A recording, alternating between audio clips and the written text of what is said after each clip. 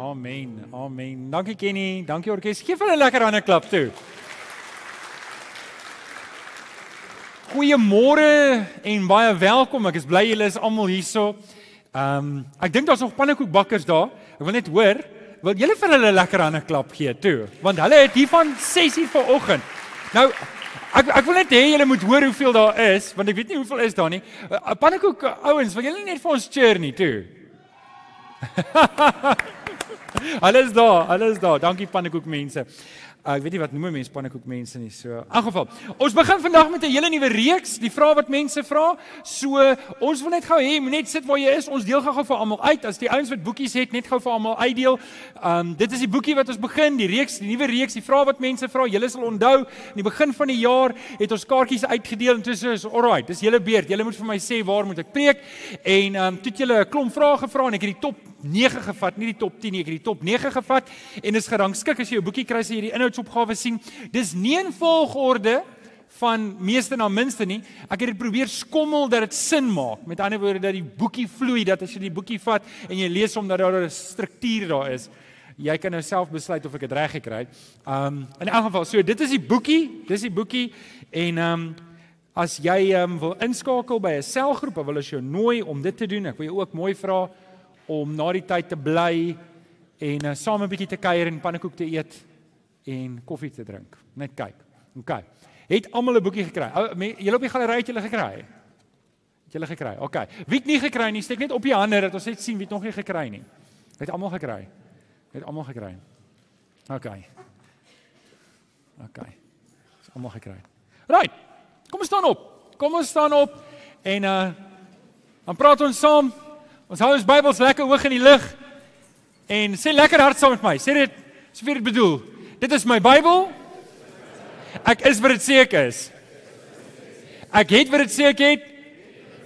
Ek kan doen wat dit sê ek kan doen. Met my mond bely ek met my hart glo ek dat Jesus die Here is. Amen. Amen. Jy kan sit. Jy kan vanoggend jou Bybel oopmaak by Psalm 100 by Psalm 100 by Psalm 1. En ons gaan vers 1 tot 6 saam lees. Psalm 1 En ons gaan lees vanaf vers 1, Psalm 1 vanaf vers 1.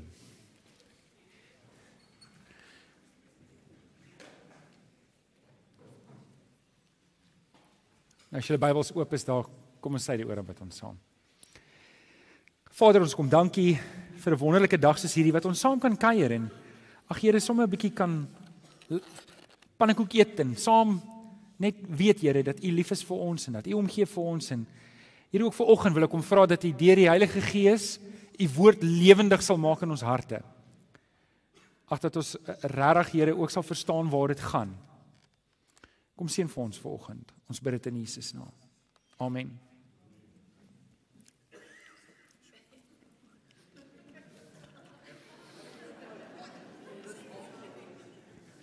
Wat? Ek het nog nie ontbyt gehad nie. Ek gedink ek gaan julle lus maak.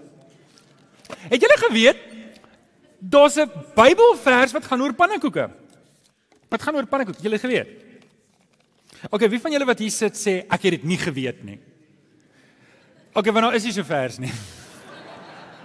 Maar as wat naby kom, dis een wat naby kom. In Matteus 4 vers 4 lees ons dat die Here met die duiwel praat. Onthou julle toe hy versoek was, toe die duiwel die hele tyd sê ja, maar vat hierdie goeders en doen dit en doen dit en op 'n stadium toe sê hy vir die Here Jesus, vat hierdie klippe en maak vir jou brood. En die Here Jesus sê toe vir hom, daar staan geskrywe 'n mens leef nie net van brood alleen nie, maar van elke woord wat uit God se mond kom. Julle onthou die versie, nê? En en en volgens jy het nou pannekoek, so ek kan nou dit aanhaak as 'n illustrasie en, en en hierdie ding moet ek en jy goed verstaan dat ek in my maag propvol pannekoek eet, maar my siel kan nog steeds honger. En dit maak nie saak hoeveel ek emosioneel in my lewe probeer doen deur nog speelgoed te koop en nog goed bymekaar te maak nie. Dit maak nie saak hoeveel kos ek eet en die dinge wat ek nie wat ek doen om hierdie honger wat ek het net die woord van die Here kan my geestelike honger stil. Amen. Amen. Okay, so dis waar ek vanoggend met julle wil praat. Ek wil vanoggend die tafel dek vir die nuwe reeks. Jy sal sien die eerste um die eerste studie daar gaan oor die Bybel. Dis die bron van al ons antwoorde. En ek en ek wil hê ek wil hê jy moet hierdie verwagting hê dat ons gaan nie en kyk na hierdie vrae en sê o, okay. So hier's 'n vraag. Ons wonder hoe gaan dit antwoord. So kom ons gaan kyk wat sê die wêreld hieroor en dan en dan probeer ons kyk, o, okay, maar wat sê die wêreld en dan kom sy ons 'n paar goed uit ons duim uit en kry 'n paar sekulêre mense om 'n paar menings te lig nie. Dis nie wat ons gaan doen in hierdie reeks nie. In hierdie reeks gaan ons al die vrae antwoord uit die woord van die Here. En uh, julle behoort vir my te verwag. Verwag julle van my sê ja asseblief. Julle verwag dit van my, ek weet julle doen. En en en ek wil net die tafel dek met hierdie gedagte dat dit is hoe ons hierdie reeks gaan hanteer. So, ons praat oor die bron van al ons antwoorde is die Bybel en ek wil vir julle gou 'n paar interessante goed sê van die Bybel wat jy mag weet wat jy dalk mag wat jy dalk nie weet nie. So, die eerste ding wat ek wil hê jy moet weet is elke jaar verkoop daar meer as 60 miljoen Bybels. Ek weet nie of julle dit geweet het nie. Um dit beteken elke 2 sekondes verkoop daar 3 Bybels. 1 2, daar 3 Bybels nou verkoop iewers in die wêreld. Daar het altesaam al 5 biljoen Bybels verkoop. Altesaam. Nou oké. Okay. Kom ek sê vir julle want as jy lettergestremd is soos ek, dan weet jy nie hoeveel nulle is dit nie, nê. Nee. 5 biljoen, die een wat op die Bybel volg, het 800 en ietsie miljoen verkoop. Met ander woorde as jy nou as jy nou in jou in jou kop 'n idee kry, ons is nou van 800 miljoen na 5 biljoen. Weet jy dit is dis dis by ver die beste verkoper. Dit is nou verkoop. Dit sluit nou die syfers uit van die Gideons. Kom ek sê die Gideons se syfers by. Die Gideons versprei wêreldwyd 84 miljoen Bybels jaarliks. Wêreldwyd. In Suid-Afrika alleen 1 miljoen Bybels per jaar. Jy kan sien dat daai syfers, hulle gaan die verkope een of ander tyd verbyvat, want hulle hulle deel meer uit as wat die as wat die Bybelgenootskap verkoop. Um die Gideons het al altesaam al meer as 2,3 biljoen Bybels uitgedeel. Nou sit gou-gou dit by die 5, dan staan ons op 7,3 biljoen Bybels wat daar buitekant is. Ongelukkig is die bevolking meer as 7 biljoen. Dit beteken elke ou het nog nie 'n Bybel in sy hand nie. En dit bring ons by die volgende paar gedagte. Gedeeltes van die Bybel is al in 2900 verskillende tale oorvertaal. Van die 2900 verskillende tale is daar net 554 tale wat 'n volledige Bybel het in sy eie taal soos wat ek en jy dit vandag het. Sommige net nog iets interessant, die Bybel is deur 40 verskillende skrywers geskryf. Dis op drie verskillende kontinente geskryf en is oor 'n tydperk van 1500 jaar geskryf. Hierdie is een fenominale boek, stem julle nie saam nie?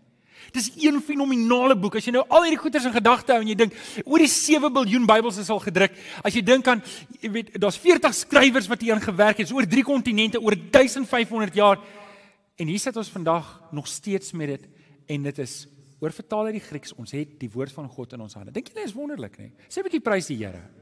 Dis die Here wat sy woord vir ons bewaar het. Nou, om hierdie reeks goed en effektief te doen, moet ek en jy saamstem op drie areas. Dit staan nie op jou raamwerk nie, maar ek wil ek wil hê dit moet dit hoor. Ek en jy moet saamstem op drie areas wanneer dit kom by die woord van die Here. Anders dan gaan ek en jy nie tot dieselfde slotsom kom nie. Ons gaan nie tot dieselfde antwoorde kom nie. So ek wil nou al hê as jy deur die boekie werk en jy dan moet jy weet wat was ons bedieningsfilosofie en hoe ons die vrae probeer antwoord. Ons probeer dit doen met hierdie drie verstandhoudings. So nommer 1, ons glo Die Bybel is die woord van God. Ons glo hierdie is die woord van God. Dis die woord van God in skrif gestel.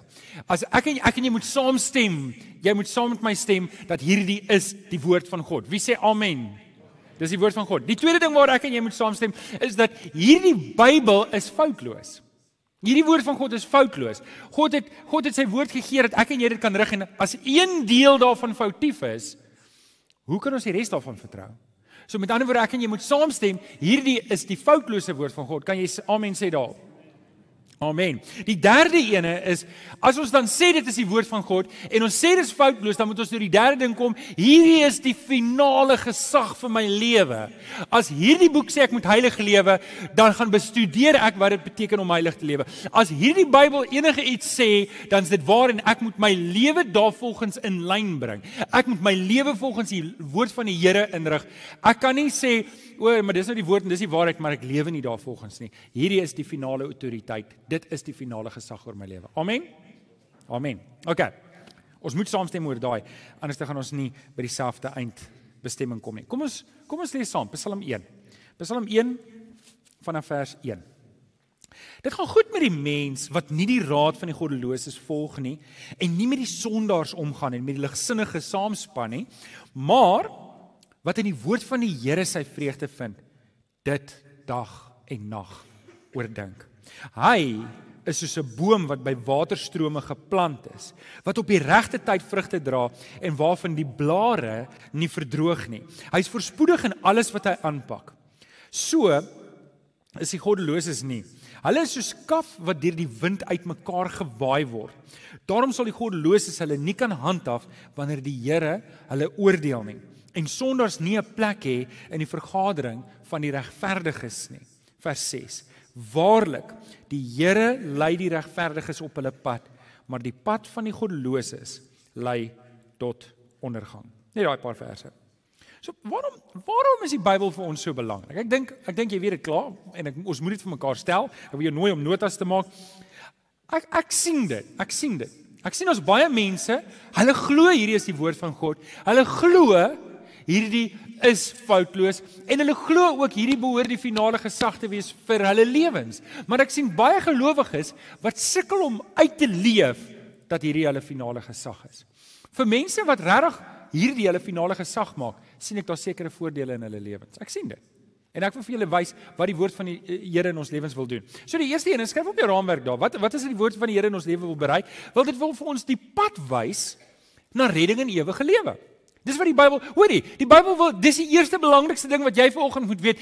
Hierdie hierdie woord is die, is die woord van God. En as dit God se woord is, dan gaan hy dan gaan die Here vir jou deur hierdie Bybel vertel hoe om gered te word.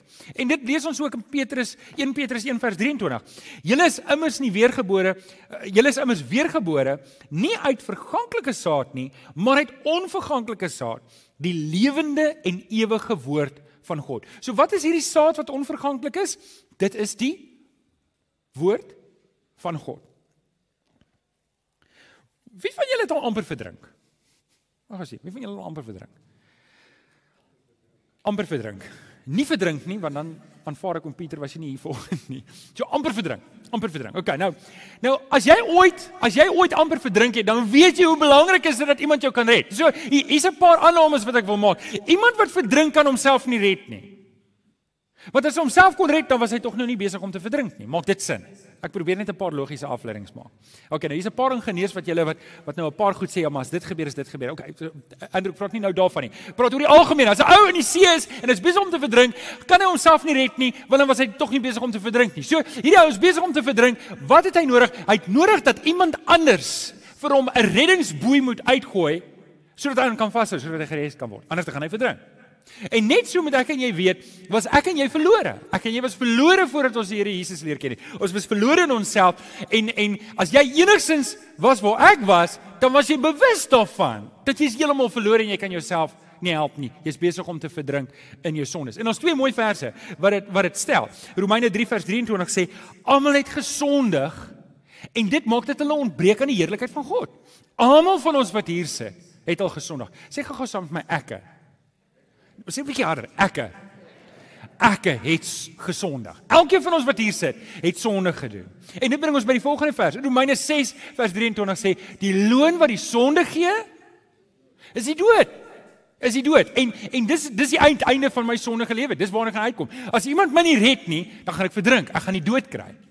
So nou het ons nou het ons 'n spanningvolle oomblik hier van 'n klomp mense wat in sonde besig is om te verdrink. En dan kom hierdie mooi vers in Handelinge 4 vers 12 wat sê daar is geen ander naam op die aarde aan die mens gegee waardeur God wil hê 'n mens moet verlos word nie. Daar's geen ander naam as die naam van die Here Jesus wat vir die mense gegee word waarby hy gered kan word nie. Jesus is die enigste weg na die Vader.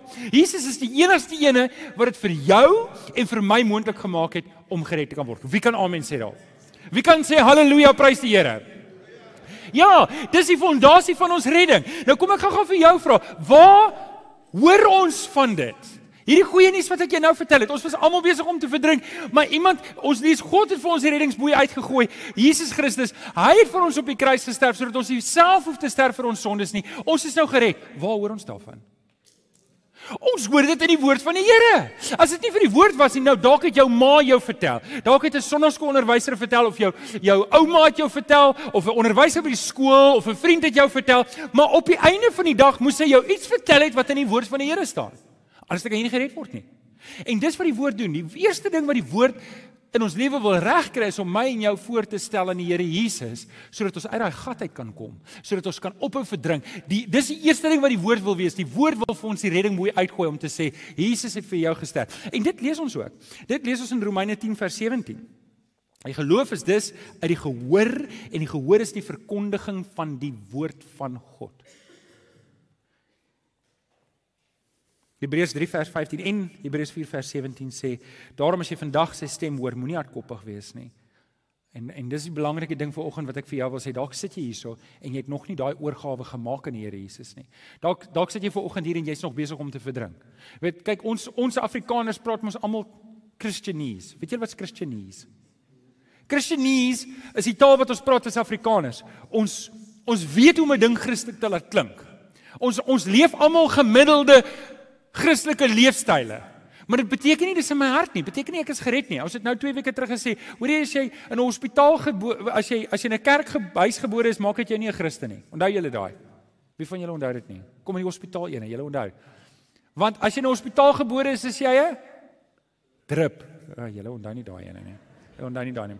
Nee, net so, ek en jy word nie kinders van die Here gebore nie. Ons word eintlik verlore gebore en ons moet by die Here Jesus uitkom. En daarom moet ek en jy as ons vandag, as ons vandag die woord van die Here hoor, moet ons nie hardkoppig wees en teen die prikkel skop nie, maar sê Here, ek wil die woord aangryp. Ek wil die woord aangryp. Ek wil die Here Jesus aangryp. Ek wil gered word. En ek wil jou vanoggend sê as jy hierso sit en jy het nog nie 'n oorgawe gemaak aan die Here nie, gryp die Here Jesus aan en gryp sy woord aan en gee jou lewe oor.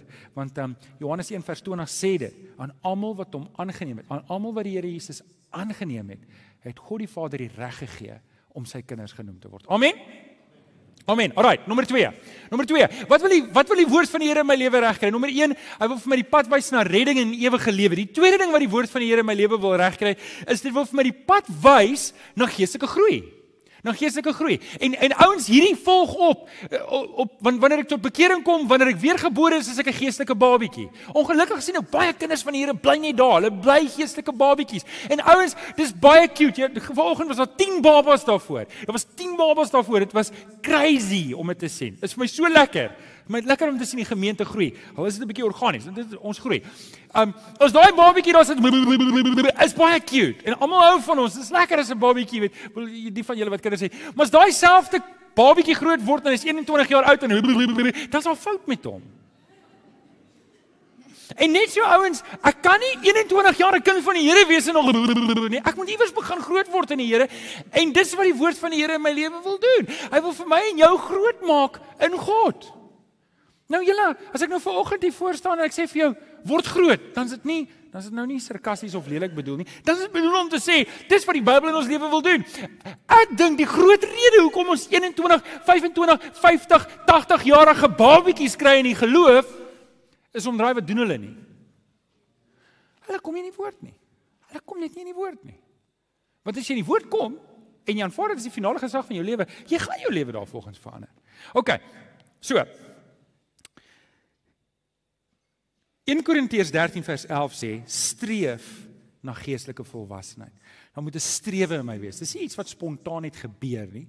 Dis iets wat ek moet beer na. Dis iets wat ek moet streef na. Dis iets waarna ek moet uitstrek. Dis iets wat ek moet insit. Ek moet tyd op my um boude deurbring in die woord van die Here. En dan moet ek tyd op my knieë deurbring voor die Here. En en daai goed moet ons verstaan. Nou, die oomblik as ek in hierdie ding wil ek nou dalk gou gehad, het ek almal se aandag. Hierdie is belangrik vir hierdie punt om te maak. Jy sit hierso en jy sê jy's 'n kind van die Here. Wie kan amen sê daarop? Sê amen. Maar okay, sê nou amen asof jy regtig gered is. Amen. Okay, so hier's 'n paar geredde mense hierso. Nou ek praat nou met julle wat nou gered is, nê. Nee, hoor gou-gou mooi. Die oomblik as jy die Here Jesus aanneem as jou verlosser en saligmaker, gebeur 'n belangrike ding. God, die Vader, sit die Heilige Gees binne in jou hart. En daai Gees doen twee goed. Die eerste ding wat dit doen is, dit laat jou uitroep Abba Vader. Dit laat jou uitroep dat jy dat jy om na God uit te roep. Die tweede ding wat dit doen is dit getuig saam met jou gees. Die Heilige Gees getuig saam met jou gees. Wanneer jy sê ek is 'n kind van die Here, dan sê die Heilige Gees, ja, jy is 'n kind van die Here. Sien, dis baie moeilik. Jy kan vir mense sê ek is 'n kind van die Here, maar jy kan nie eerlik wees met jouself en jou hart as die Heilige Gees nie daar is nie. Jy sê ek is 'n kind van die Here, maar binnekant weet jy, jy lyk soos 'n kind van die Here. Jy praat Christianese. Maar jy weet hier binne is dit nie waar nie. Jy kan dit vir mense sê, maar jy weet hier binnekant is dit nie. Maar as jy die Heilige Gees het, dan kan jy vanoggend sê, "Yes, broer, preach it, brother." Preach it. Dis so. En want jy het die Heilige Gees in jou en jy weet jy's 'n kind van die Here. Wie sê daarop amen? Okay, we're getting somewhere. We're getting somewhere. Okay, so wanneer die Heilige Gees in jou lewe is, dan dryf die Heilige Gees 'n hele nuwe agenda in jou lewe. En dit is om meer en meer te lyk soos die Here Jesus. Johannes 3 vers 30 sê Johannes dit. Hy sê Jesus moet meer word en ek moet minder word. Dis dis die agenda wat die Heilige Gees in my dryf. Die Heilige Gees kom in my lewe en maak dat ek wil minder. Ek ek die jong mense gebruik die woord cringe. Dis wanneer iemand iets stupid gedoen het. En maar wanneer ek na myself kyk, dan cringe ek. Ek wil minder van Johan Delport in my lewe hê en ek wil meer van Jesus in my lewe hê. En daai strewe, daai begeerte is iets wat die Heilige Gees in my sit. 2 Timoteus 3 vers 16. Die hele skrif is deur God geïnspireer. Kom ek stop net gou-gou daar. Die hele skrif is deur God geïnspireer. So ek en jy gebruik die woord inspirasie baie keer los en vas. O, jy weet jy inspireer my. O, jy inspireer my. Daai Facebook post van jou van waar jy die koek bak. Wow, inspireer my. Ja, ins nie regtig nie. Ek vat net 'n voorbeeld. Jy kan koek bak. Ek het dit net nie gesien nie. Um so inspirasie is 'n woord wat ons baie maklik gebruik, maar hoor net gou-gou. Die woord inspirasie in die Grieks is 'n ander woord. Dis om in te blaas. Dis wat die dis dis wat die vers doen. En waar op ander plekke waar ons dit lees verwys dit na die Heilige Gees. Dis hoekom ons sê die hele skrif is deur die Heilige Gees geïnspireer. Die Heilige Gees het in mense se harte gewerk om God se woord neer te skryf. Dis ons die Bybel gekry vandag. OK? So daai inspirasie, die Gees blaas dit in. So ek wil vir jou vra, as God deur die Heilige Gees se agenda in my lewe gaan dryf om meer en meer soos Jesus te lyk en minder en minder soos ek te lyk, wat gaan hy gebruik as die bron? Wie van julle sê ek het nie 'n klou nie? Kyk net na my regterhand. Die woord. Die woord. God gaan sy woord gebruik. Die Heilige Gees gaan my elke keer keer op keer terugdryf na die woord toe. Hy gaan nie hy gaan dit nie op 'n ander manier doen nie. Daarom ouens, ek wil jou aanmoedig. Wees maar versigtig vir allerlei visioene en ouens wat met snaakse praatjies kom en dan ouens wat vir jou sê ja, maar die Bybel is nie genoeg nie. Weet, pas op vir pas op vir daai ouens. Hulle gaan vir jou mislei. Hulle gaan vir jou van die pad aflei. Bly maar binne die skrif. Bly maar binne die skrif, want dit is wat die Here vir ons gegee het. Dit het dit het die tyd, die toetstyd weer deurstaan. Nou, kom ons praat 'n bietjie oor die Heilige Gees.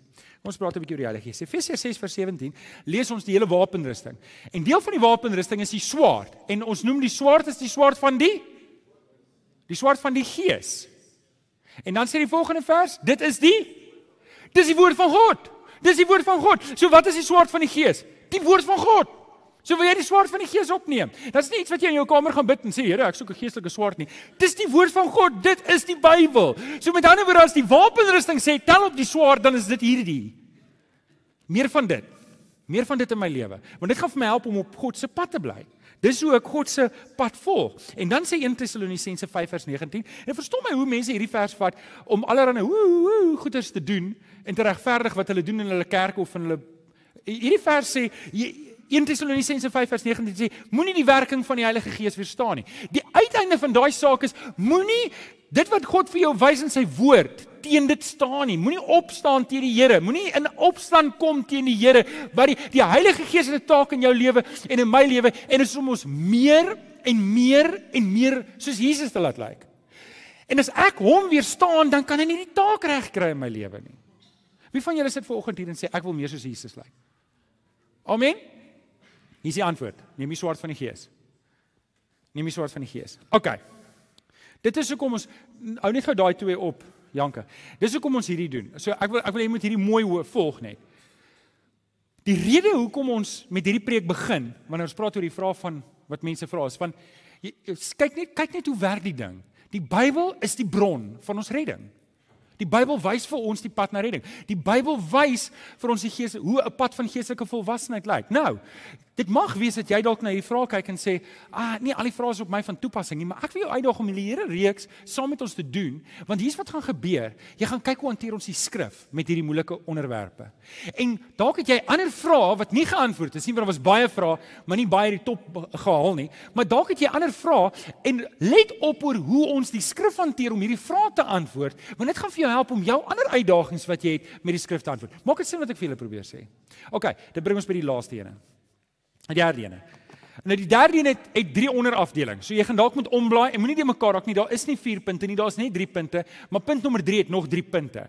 So dis half en half 'n 3 maal 3 ding, so daar's 9, ek weet nie, maar daar is pannekoek na die tyd. Dit sal nie koud, ons hou dit warm, okay. Okay, nommer laaste. Die Bybel wys die pad en ek was baie versigtig om hierdie in te preek want ek's bang julle verstaan dit heeltemal verkeerd. sien wat ek nou doen is ek vertraag om vir julle te sê waar die vierde derde punt gaan sodat julle meer nuuskierig word. Werk dit? OK, so nommer 4 as jy hom vir ons kan opsit Janke. Nommer 3, nommer 3, jammer. Is dit wys vir ons die pad na sukses en algemene voorspoed. Nou, ek wil net gou-gou hê jy moet verstaan, ek glo glad nie in die voorspoedsteologie nie. Glad nie. Ek staan teen dit. Ek dink dit is eintlik lasterlik, net dat jy weet waar ek staan. OK?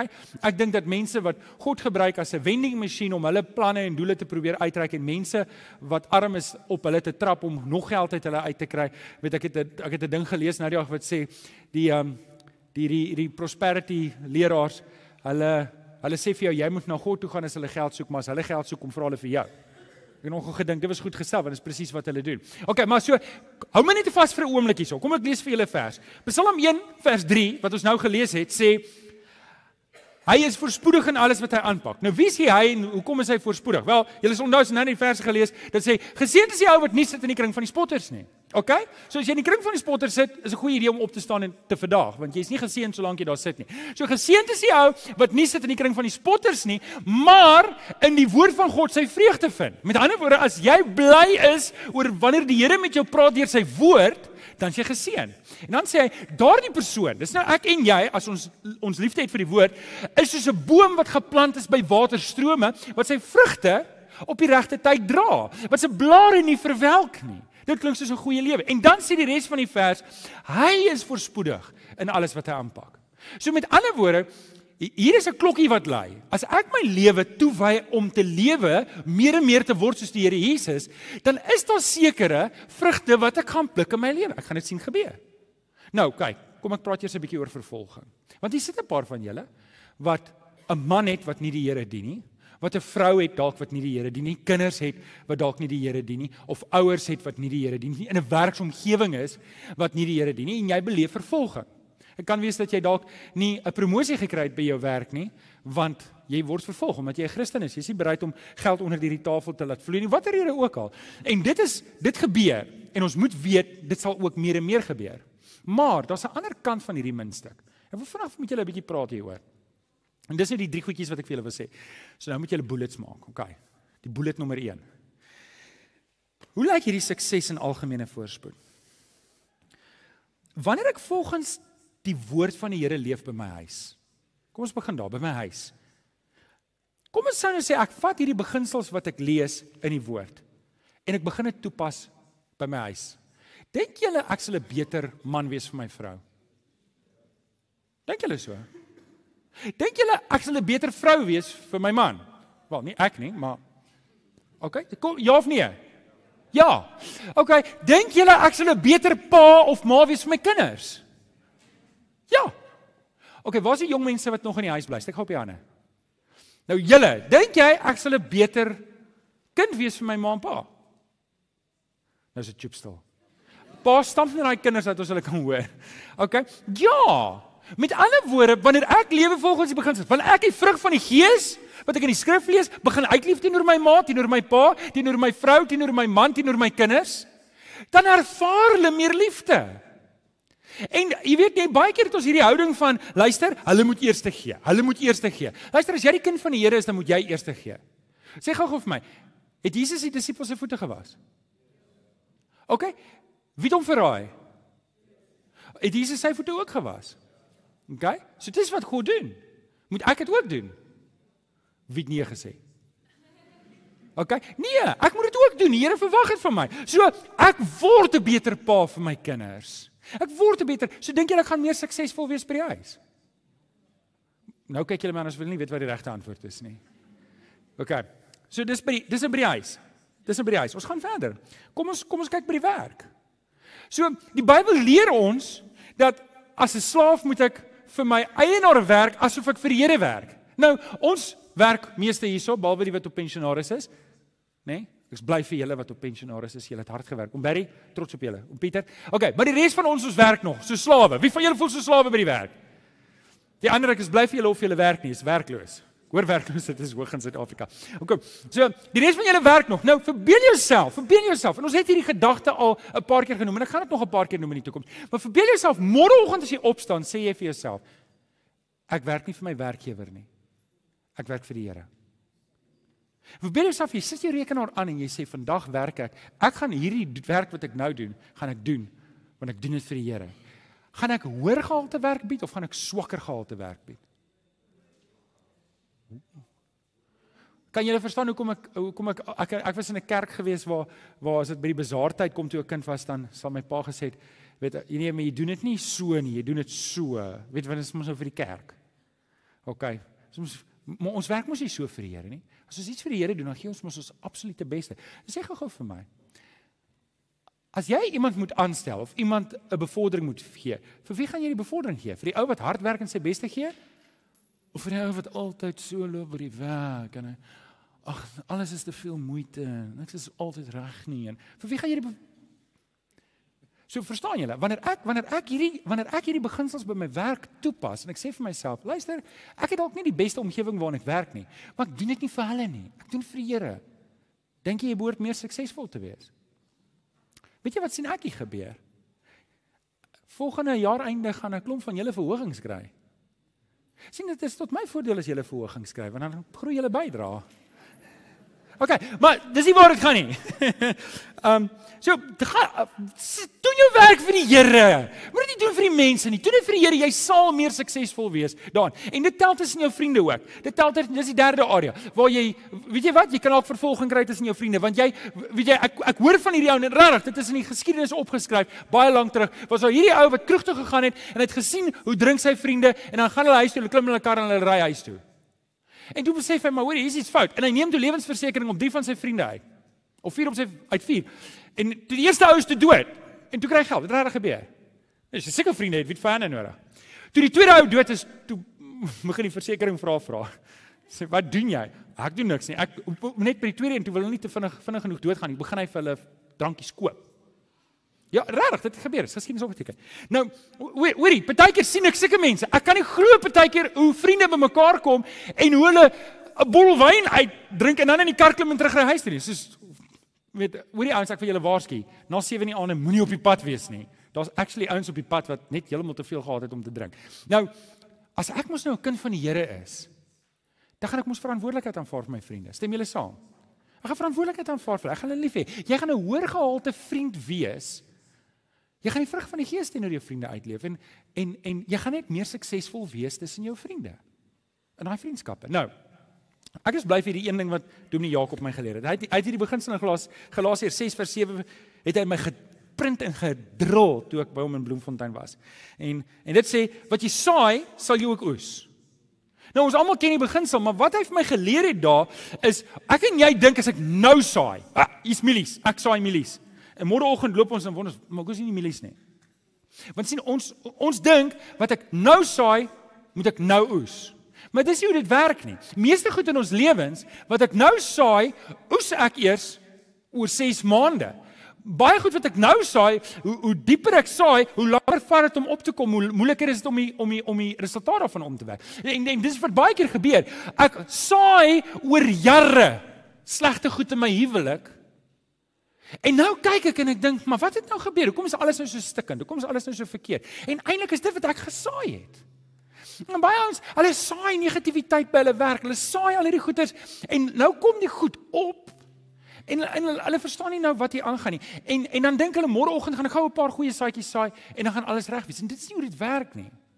En en hierdie ding is ek bly wat Domie Jakob vir my geleer het want hy het vir my gesê Johan, weet jy wat? Jy moet nou reg saai sodat jy 40 is dat jy 'n goeie oes kan inkry. Ek sê vir die Here dankie. Ek sê vir die Here dankie dat hy my geleer het om nie kortsigtig te wees nie, want Weet ons was amper 500 volwassenes ver oggend hier. En ek sê vir die Here dankie dat ek kan deel wees daarvan. Dat dat dat hy my deel gemaak het saam met 'n span mense wat saad saai wat so tipe oes opbring. Vriende, ek ek wil hierdie vraag vir jou vra. Hoe lyk die oes wat in jou lewe om jou is? Vir oggend. As jy na jou lewe kyk, jy sê hierdie oes dis hoe dit lyk. Hier is die beginsel. As jy nie hou van die oes wat jy besig is om in te kry nie, saai ander saad. Sê maar Johannes, dit is nie te laat nie. Dis nooit te laat nie. Begin vandag. Maar onthou net nie, as jy vandag begin goeie saad saai, jy gaan dit moet aanhou saai vir die volgende 6 maande. Dan gaan die goeie oes begin opkom. Jy gaan dit moet saai vir die volgende 10 jaar. Dan gaan dan gaan daar sterker, groter oes opkom. En hou aan om daai goeie saad te saai in jou lewe. Want julle ouens, ek glo, ek glo, weet julle wat die eerste belangrike ding is om gered te word? En die tweede belangrike ding is om geestelik volwasse te word. Maar ek dink dis wat hulle noem in Engels 'n spin-off wanneer ek vir die Here leef en ek vat sy woord ernstig en ek leef dit uit, is ek oes 'n lewe hier op aarde wat eer bring aan die Here. Stem julle saam? Nou oké. Okay.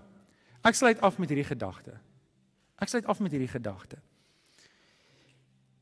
Ek wil jou mooi vra om twee goed te oorweeg. Nommer 1 om vir die volgende 10 weke hierdie reeks saam met ons te doen. Oorweeg dit om hierdie volgende weke. Dalk as jy besoeker vanoggend hier, ek weet nie waar jy is nie, Maar hoekom oorweeg jy nie om nog die volgende 10 weke te kom en die reeks saam met ons klaar te maak nie? En die ander ding wat ek jou wil vra is, hoekom oorweeg jy nie om by 'n selgroep in te skakel nie? En doen dit saam met 'n klomp gelowiges wat saam met jou hierdie goeders kan werk en vir jou te help om die goed oop te breek. Ek wil jou vra om hierdie goed vanoggend te oorweeg. Want dit is saad wat dis die regte tipe saad wat ons in ons lewens wil saai. Ek wil vir jou bid. Kom ons bid saam. Vader, Ag ons kom dankie. Ons kom dankie vir oggend weer dat ons u liefde kan beleef. Here dat dat u toe u ons gered het van ons verlorendheid, toe ons die Here Jesus aangeneem het en en die woord aangegryp het en die Here Jesus aangegryp het, toe die Gees in ons harte kom sit. Ons dankie Here vir oggend dat ons kan getuig dat dit is die Gees wat in ons harte ook uitroep na u wat sê Abba Vader. Ons ons sê vanoggend ons beleef dit Here dat dis u Gees wat in ons harte saam met ons eie gees getuig dat ons u kinders is. Here, ek kom vra vir oggend dat U vir ons sal leer om 'n lewe te leef wat saad saai wat aan U al die eer bring. Ek kom dankie vir 'n oggend soos hierdie. Here, dankie dat U dit so bewerk het dat ons die woord in ons eie taal kan hê dat ons dit kan lees en dit bestudeer en dat ons dit ons eie kan maak en die invloed van U woord elke dag in ons lewe kan hê. Here, waarlik U is die waarheid. En ons sien dit in ons lewens dat wanneer ons lief is vir u woord, as ons lief is vir u, dan soos soos hierdie boom wat geplant is by waterstrome wat die regte vrugte dra op die regte tyd. Dankie Here. Kom seën vir ons. In Jesus naam bid ons dit. Amen. Amen. Amen. Vriende, kom ons staan. Kom ons staan en sing ons saam met Kenneth hulle die volgende lied. Dankie.